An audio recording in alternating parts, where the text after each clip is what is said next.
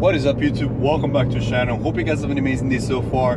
Like always, if you're new to the channel, hit the thumbs up and only if I bring value to you guys through this video or any other video, I want you guys to hit the subscribe icon. For today's video, we're gonna be talking about why having a side hustle is so important for financial freedom. Um, so as you guys can see, I'm driving a Corvette while being an active duty military, uh, as well as I already have my house and stuff like that. So I'm gonna be talking about some of the financial decisions that I made throughout my uh, initial years, in my early 20s.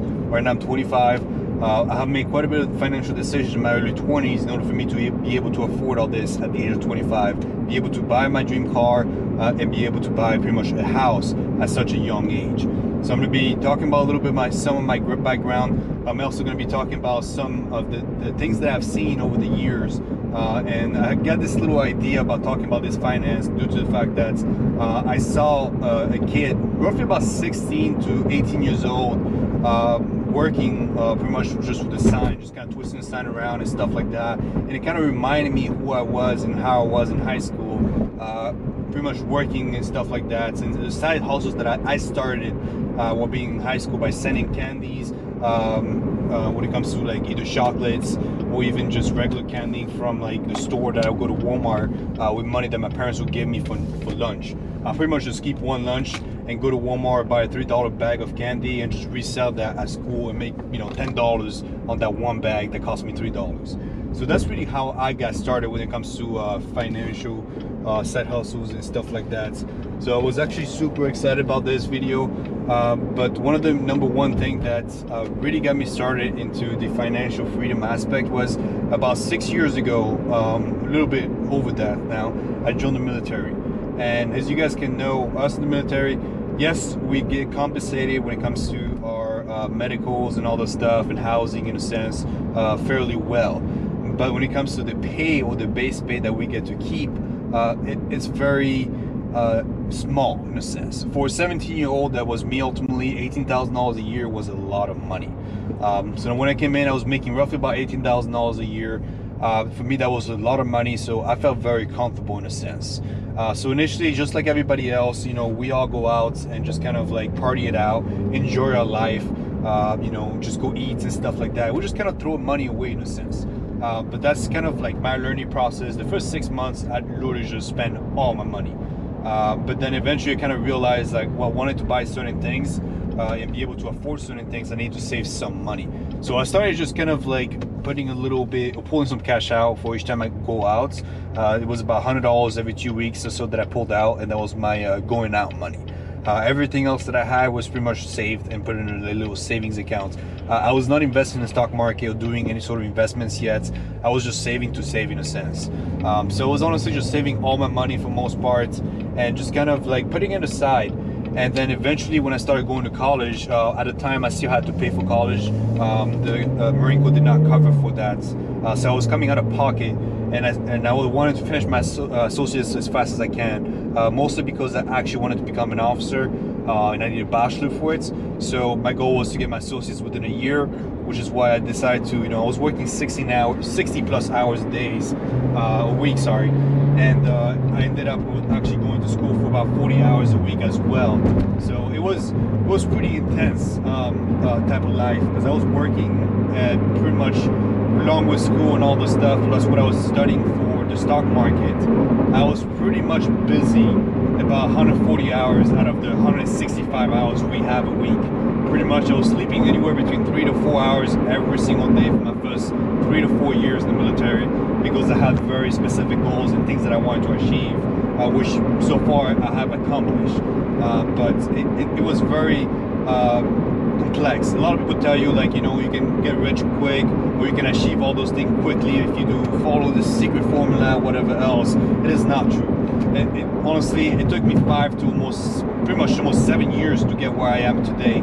Uh, and I'm still not where, nowhere near where I want to get to, uh, which is like super comfortable in a sense and having uh, my investment come back in for me without really having to work or even get up if I want to in a sense. So that's really the type of comfortable I want to get to. Uh, but that's going to take me a few years to get to that level. I don't think it's going to happen for at least another 10 to possibly another 20 years.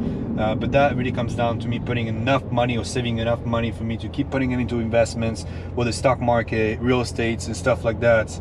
and um, really just focus on me in a sense. Uh, when it comes to those things, it really came down to the fact that I was able to pretty much save 80% of my paychecks. Uh, I save 80% of my paycheck, the other 20%, which is about four to five hundred dollars a month, I spend that on just kind of like me going out with my friends, enjoying life in general. Because saving is great, but if you're not living, it, it, it can be very miserable. So, you know, I was saving 80%, and then when I started going to school, that whole 80% was gone.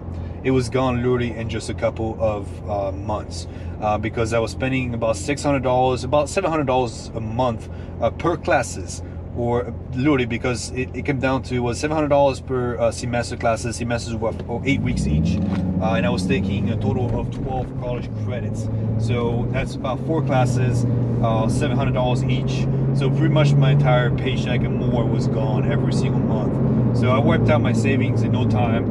And then i kind of came to realize like i'm not enjoying this anymore because like i need more money in a sense. If i really want to get to where i was because you know i wanted a corvette i wanted nice cars i wanted to have a house and all those things. So i decided to kind of just get into evolve in finance do this other side of hustles in a sense. Uh, i started a drop shipping store uh, i started a bunch of different things uh, but really what attracted me what really made my money was with the uh, stock market. Uh, started with $500 in the stock market lost the first initial accounts that i had uh, pretty much completely wiped out $500 twice and then from there I started getting serious, realizing my mistakes and stuff like that. Got a little bit more involved. Uh, started a dropshipping store as well. And honestly, when it comes to side hustle or anything in general, uh, I was pretty much started.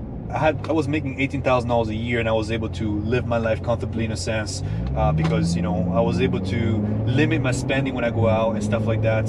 Which honestly, at a certain point, I stopped going out because all the money that I, I had additional, that extra hundred dollars a month to me was just like I can put that in the stock market.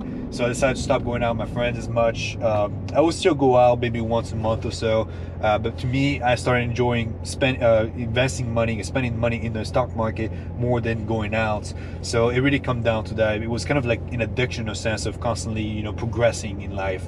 So and this really is where I got today, which is I was able to buy my first house at the age of 22. I think I have one of the videos for that. Uh, you guys can go check that out. As well, I was able to um, buy this car literally just less than a month ago. So I was super happy about that, which I put a fairly big uh, down payment as well. Uh, now I'm looking for my second house. So, and all those things are being done right now in military. Me uh, being married, I'm making just about $55,000 a year. So obviously I have extra money coming in from other things like the stock markets uh, and the other investments that I have as well. So this really comes down to if you have a side hustle and you think that oh you're not making enough because you're only making $50 a week or even $50 a month just keep putting that money reinvest that money back into the business and keep going over and over and over. And eventually you're gonna grow. It's just gonna take a few years. It does not happen overnight. It doesn't get it doesn't take a year. It doesn't take two years. It may take even 10 years for you to achieve whatever you want to achieve just about consistency time management and just determination to achieve whatever you want to achieve uh, my next goal is really to. Uh, I talked about it last video when I when I ultimately asked, uh, do I really think that millennials are going to be able to uh, fully retire? My belief in that is possibly most likely no. In a sense in which you're still going to have to have some sort of investments, you're going to have to manage your, your investment portfolio, uh, and ultimately you're going to have to have some sort of side hustle because realistically speaking, nowadays, unless you work until you pretty much pass away, there's very not a, a, way for you to just fully retire unless you go to a third world country. But that's a, that's a whole different story. Uh, before my mindset, my, my next goal is ultimately to achieve or have enough in savings to be able to accumulate uh, about seven percent dividend payouts as well as just general uh, tax. Uh, um, I'm sorry, uh, post-tax uh, return on my investment. So seven percent, and that equates to about two hundred and fifty thousand dollars a year. So if you know my returns of uh, whatever amount is uh, can give me seven percent return yearly, whether it's real estate or stock market, and give me an average of about two hundred fifty thousand dollars a year. I can live anywhere in the U.S. fairly comfortable, unless obviously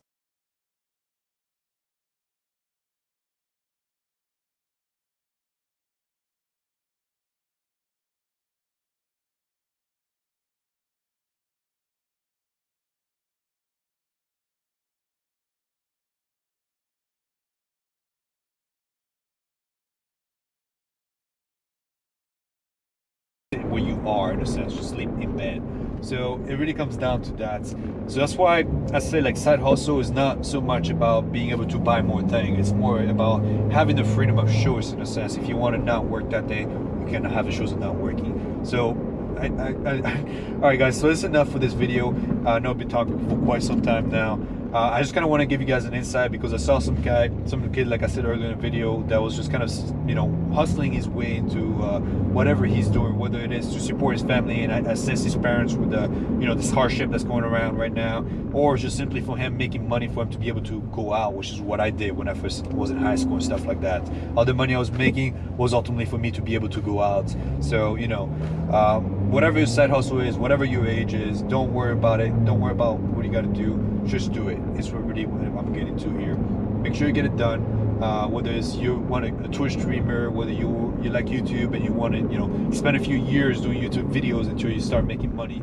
or if you even just you know want just a regular you know cleaner or even uh, simply uh, whether you know you want to work at McDonald's. It really comes down to you need to be able to start your side hustle and not stress about what you do. As long as whatever money you get from it, you reinvest it in something that brings you money back. That's really what the key is. All right, guys, thank you for watching. Have a wonderful day. I've been talking long enough. Hit the thumbs up, and only I brought value to you guys through this video or any other video, I want you guys to hit the subscribe icon. Have a wonderful day.